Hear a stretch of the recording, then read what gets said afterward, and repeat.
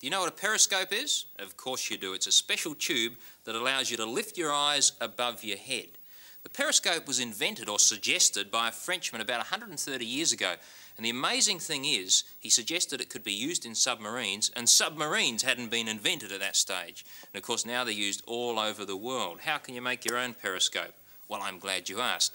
You'll need two mirrors and a cardboard tube. Use little handbag mirrors and try and find a tube that's just a little bit narrower than the mirrors themselves. This is a tube from aluminium foil. You can make your own cardboard tube if you like. Just try and make sure it's a little narrower than the mirrors. Then you'll need some scissors and sticky tape.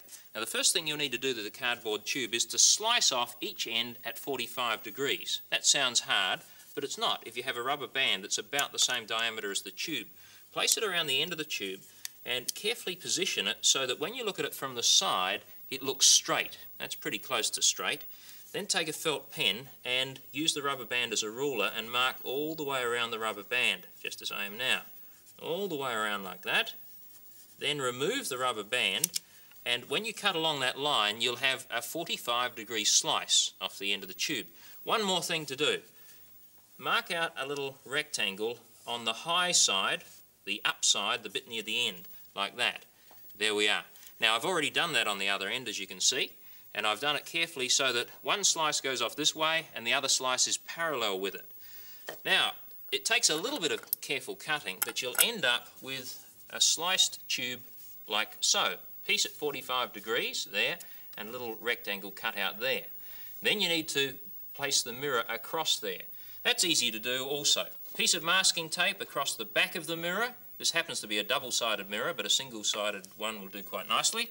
And then rest the tube down on the mirror like that and just fold up the tape in this position here on one side and on the other side and do the same thing on the other end of the periscope, which I've already done, and you have it ready to go.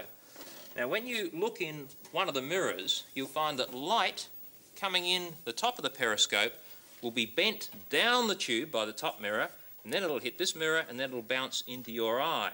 So you will now be able to see things with eyes that are up that end. So I can use it at football crowds to see over people's heads, or I can use it to look over the garden wall and find out what they have in the garden next door. And if you come in and have a look too, you'll find that they have something that looks like a, yes, it's a statue in among the flowers. It looks almost as if we have a hole through the wall. We know we don't, but our eyes are now lifted up and over the wall, and we can see from that height because of the periscope.